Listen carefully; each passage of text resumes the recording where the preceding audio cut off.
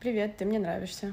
Привет, ты мне тоже, только сразу предупреждаю, я не хочу никаких отношений, мне нужен только секс. А почему ты не хочешь отношений? Я вроде нормальный чувак, и тебе такие нравятся. Потому что у меня было несколько нервных срывов, сейчас я переживаю эмоциональное выгорание, у меня нет сил для того, чтобы строить какие-то длительные, близкие отношения. Но мне кажется, это не все, да? Ну да, еще меня пиздили в детстве, у меня тираничный властный отец, и я, в принципе, такая же. Еще что-то будет?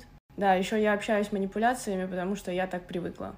Окей, ну, мне это подходит. Э, бля, чё нахуй? Ну, ты пиздец, как нравишься мне внешне, и меня заводит твой такой дерзкий характер. Я даже не знаю почему. Возможно, у меня тоже есть проблемы с головой. Да, понятно. Вообще, я не люблю, когда под меня стелятся люди. Я не очень уважаю таких и агрессивно реагирую на них. Но, с другой стороны, мне кажется, в этом что-то есть.